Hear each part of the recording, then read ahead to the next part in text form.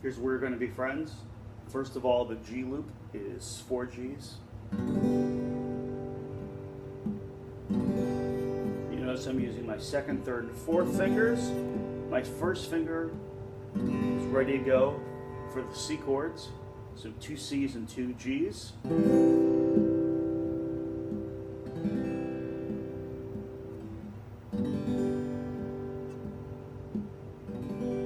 And we'll do this loop twice. D, C, G, G.